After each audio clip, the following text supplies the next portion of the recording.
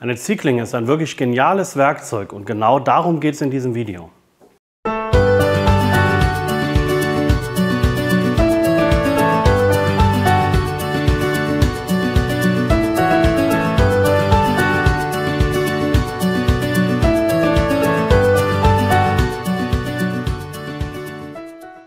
Eine Ziehklinge, die wirklich Späne macht und nicht nur Sägemehl, ist ein tolles Werkzeug. Damit könnt ihr gegen die Maserung arbeiten, ohne dass was ausbricht. Ihr könnt alte Farben damit runtermachen, ihr könnt Klebebänder beim Furnieren zum Beispiel damit runtermachen. Also wirklich ein sehr, sehr vielseitiges Werkzeug und ein sehr simples Werkzeug. Denn im Prinzip ist das ja nichts weiter als ein einfaches Stück Blech. Dieses Blech muss ein paar bestimmte Eigenschaften haben. Es darf nicht zu hart sein, nicht zu weich. Und es muss, und das ist das Entscheidende, einen angezogenen Grat haben. Denn ein einfaches Stück Blech, das ihr irgendwo kauft, findet, was auch immer, wird keine Späne machen. Und dieser Grat ist halt dafür verantwortlich, dass diese schönen Späne kommen und nicht nur irgendwelche Krümel. Und ich möchte euch zeigen, wie ihr an die Zieglinge diesen Grat dran bekommt. Denn das ist eigentlich gar kein Hexenwerk und wenn ihr euch ein paar Hilfsmittel macht, dann geht das sogar noch schneller und einfacher. Vor allem, wenn ihr viel mit Zieglingen arbeitet, dann werdet ihr diese Hilfsmittel zu schätzen wissen. Ich habe jetzt hier drei stumpfe Zieglingen, die brauchen einen neuen Grad. Ich arbeite immer mit mehreren, sammle diese dann, wenn sie stumpf sind und schärfe alle wieder auf einmal. Das ist viel effektiver, als jedes Mal eine Zieglinge zu schärfen. Und selbst wenn ihr wirklich hochwertige Zieglingen wie diese hier kauft, die sind von Lee Nielsen, dann kosten die nicht die Welt. Ihr könnt euch also ruhig zwei oder drei davon kaufen. Ich habe auch andere Marken ausprobiert, auch No Name, bin aber jetzt bei diesen hier gelandet weil sie einfach den Grad lange halten, weil sie lange scharf bleiben und sich dennoch gut schärfen lassen. Ich finde die wirklich super. Dann braucht ihr noch eine Feile in grob, Hieb 2 und eine Feile in fein, Hieb 3. Damit wird der Grad entfernt und ihr braucht einen Gradzieher. Und da habe ich in der Vergangenheit auch vieles ausprobiert, bin jetzt wieder hier bei einem Werkzeug von Lee Nielsen angelangt. Das kann aber auch ein anderer Hersteller sein. Ich habe halt festgestellt, dass das Anziehen eines Grates mit einem Hartmetallstab wie diesem hier wirklich sehr, sehr gut geht. Ich hatte HSS, ich hatte dreieckige, das hat alles nicht so gut funktioniert wie dieser Hartmetallstab. Wenn ihr irgendwie an so einen Stab drankommt, macht euch einen Griff dran, das funktioniert wunderbar. Ihr kriegt diese Hartmetallgrazia auch von anderen Herstellern. Dann braucht ihr noch einen feinen Abziehstein. Wenn ihr mit Handwerkzeugen arbeitet, habt ihr den ohnehin. Dann braucht ihr noch ein paar kleine Hilfsmittel aus Holz.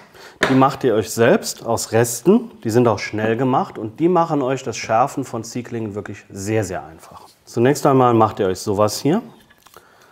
Das ist ein Holzwinkel. Hier unten ist eine Nut drin. Die verhindert, dass ein bereits angezogener Grat beim Einspannen wieder platt gedrückt wird. Das hier ist das Gegenstück. Und der Trick hierbei ist jetzt, dass die Zieglinge hier nur ganz minimal übersteht. Und dann könnt ihr mit dem Drahtzieher hier ordentlich Druck ausüben, ohne dass sich diese dünne Zieglinge verbiegt. Also das funktioniert auch bei sehr dünnen Zieglingen. Der gleiche Grundhalter dient zum Abfeilen des vorhandenen Grates. Wenn der Grat stumpf ist, wird der entfernt und wird neu angezogen. Das macht ihr mit einer Feile. Ihr nehmt zuerst die grobe Feile, Hieb 2, damit entfernt ihr den Grat. Dann kommt die feine Feile, Hieb 3 und damit macht ihr diese Kante hier etwas glatt. Und das soll alles im rechten Winkel passieren. Und dazu habe ich mir diese Klötzchen hier gemacht. Einmal grob, einmal fein. Das ist einmal nur ein Klötzchen mit einer passenden Nut. Da wird jetzt die Feile reingesteckt. Das sollte alles ziemlich stramm sein. Dieses Klötzchen hält jetzt eure Pfeile im rechten Winkel zur Fläche und damit könnt ihr den Grat wunderbar wegmachen. Das gleiche nochmal für die feine Pfeile. Wenn das mal zu locker ist, könnt ihr einfach ein Stück Klebeband reinlegen, das funktioniert dann auch wieder. Und damit wird dann die Kante geklettet. Das kommt später noch zum Einsatz. Ich hatte mir mal einen solchen Pfeilenhalter hier gekauft, das funktioniert grundsätzlich. Das Blöde ist nur, wenn ihr mit mehreren unterschiedlichen Pfeilen arbeitet, dann spannt ihr ständig um oder ihr müsst euch noch einen zweiten Halter kaufen. Das funktioniert mit diesen Holzklötzchen hier genauso gut. Also den hier könnt ihr euch definitiv sparen. Der erste Schritt ist jetzt das Entfernen des Grates, des alten stumpfen Grates. Dazu legt ihr eure Zieglinge hier in die Vorrichtung. Ihr zieht bei einer solchen Zieglinge immer vier Grate an. Wenn eine Seite stumpf ist, benutzt ihr die andere und so weiter. Und jetzt nehme ich hier meine grobe Pfeile in dem Halter und feile damit diesen alten Grat weitestgehend weg.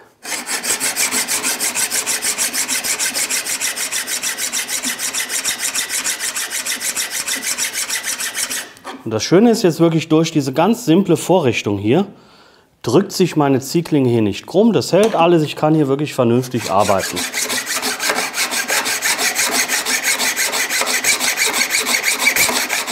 Jetzt kommt die feine Feile.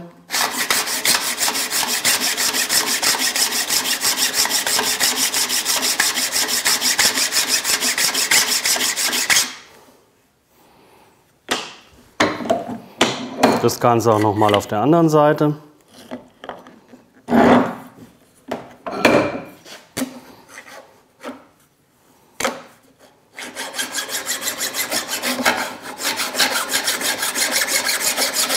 Jetzt ist der Grat weitestgehend weg.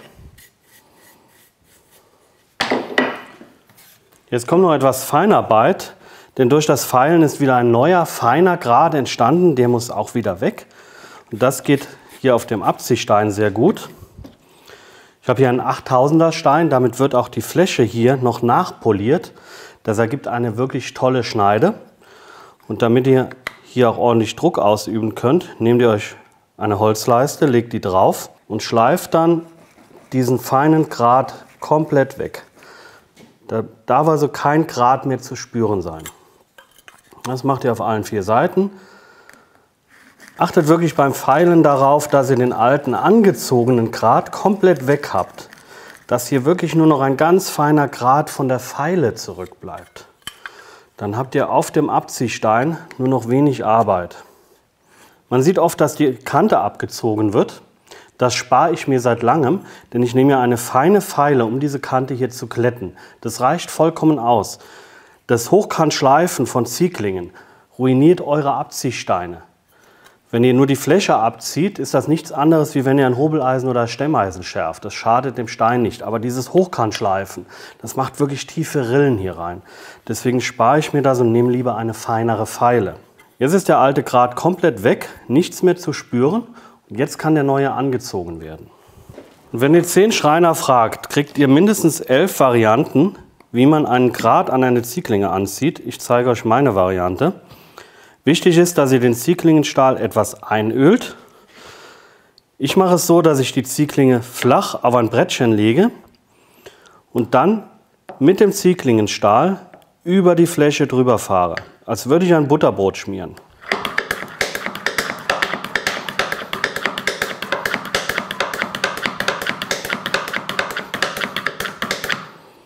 Auch wieder an allen vier Kanten etwa 20 Mal drüber gehen.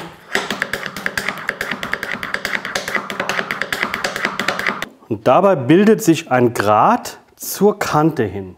Das heißt, der Grat, der nachher für das Schneiden verantwortlich ist, der ist jetzt schon da, aber noch an der falschen Stelle. Der steht nämlich hier über. Jetzt kommt die Ziehklinge wieder in die Vorrichtung, aber mit einer höheren Spannbacke hier. Beide Spannbacken sind auch etwas schräg gehobelt, etwa 15 Grad. Dadurch können sie höher sein und stören nicht beim Anziehen eines Grates. Es kommt wieder ein Tropfen Öl auf den Gratzieher. Jetzt sind ja hier rechts und links jeweils zwei Grate, die im Prinzip jetzt nach oben stehen. Und um diese umzulegen, ziehe ich jetzt mit meinem Drahtzieher einmal über die Kante. Jetzt merkt man schon einen ganz minimalen Grad, ganz klein. Ihr könnt auch mehrmals über die Kante ziehen, dann wird der Grad etwas größer. Je größer der Grad und je dicker die Zieglinge ist, umso dickere Späne könnt ihr abnehmen. Und bei diesem Drüberziehen mit dem Hartmetallstab wird auch diese Kante hier nochmal etwas nachpoliert. Auch das ist wieder ein Argument gegen das Polieren auf dem Stein, denn das wird ja jetzt gemacht. Jetzt habt ihr also hier einen ganz feinen Grat, der ist aber noch nicht groß genug, um damit arbeiten zu können. Und jetzt nehmt ihr euren Drahtzieher, haltet ihn etwa 15 Grad schräg und zieht ihn mit Druck über die Kante. Dann merkt ihr hier einen größeren Grad. Wie gesagt, je dicker die Späne sein sollen, die ihr machen wollt, umso größer muss der Grat sein.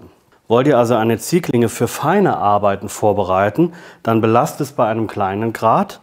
Wollt ihr dickere Späne runternehmen oder große Lack, dicke Lackschichten, dann zieht den Grat nochmal nach. Dann wird er stärker.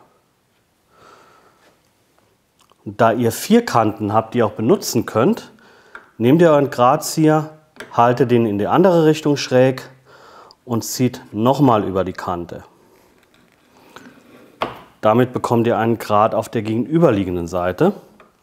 Ist der hier stumpf, macht ihr mit der Kante weiter.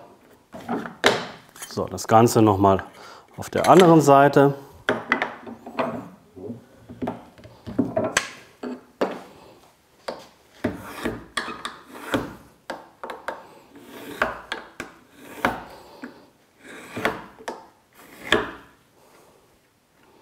Jetzt gehe ich meistens auch hin und entschärfe mit der groben Pfeile diese Ecken hier, denn da verletzt man sich gerne beim Arbeiten dran.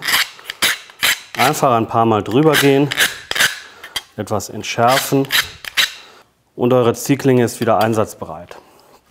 Das heißt zwar Ziehklinge, aber die meisten Leute drücken diese Klingen. Ihr habt einfach dann mehr Kraft. Es gibt auch Ziehklingenhalter. Ich mag diese nicht so gern. Mir fehlt da einfach die Rückmeldung, das Gefühl beim Arbeiten, was gerade am Holz passiert. Deswegen benutze ich die Ziehklingen lieber ohne Halter. Das hat den Nachteil, dass irgendwann das Blech etwas warm wird. Das merkt ihr sehr schnell an den Daumen. Das ist aber auch ein Zeichen dafür, dass ihr genug Druck ausübt. Und beim Arbeiten biegt ihr die Ziehklinge mehr oder weniger durch. Und dadurch könnt ihr auch sehr schön punktuell arbeiten.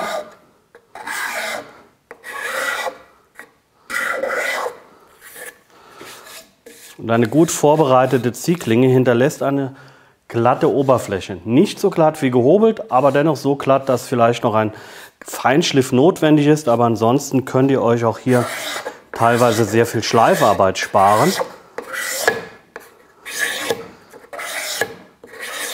Wenn eure Ziehklinge nach dem Schärfen keine Späne macht, dann ist irgendwas schief gelaufen, dann zieht einfach einen neuen Grat an.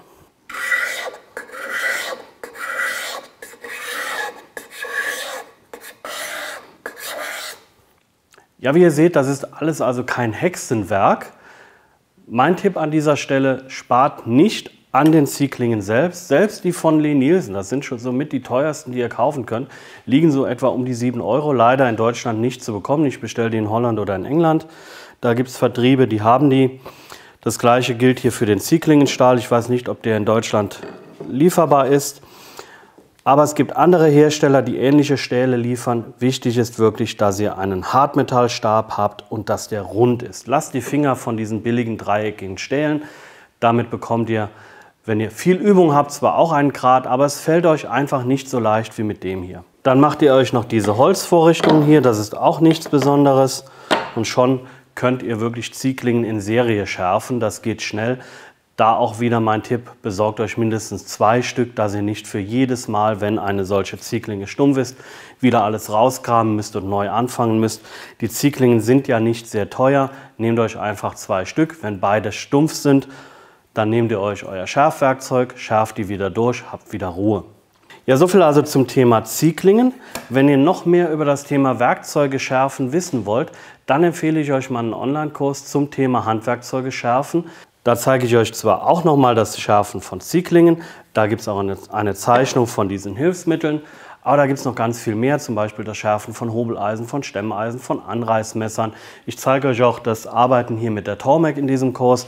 Also alles, was ihr über das Schärfen von Handwerkzeugen wissen müsst, gibt es in diesem Kurs. Ja, ich hoffe, euch hat dieses Video gefallen. Wir sehen uns bald schon wieder. Bis dahin wünsche ich euch einen schönen Tag und habt viel Spaß in eurer Werkstatt.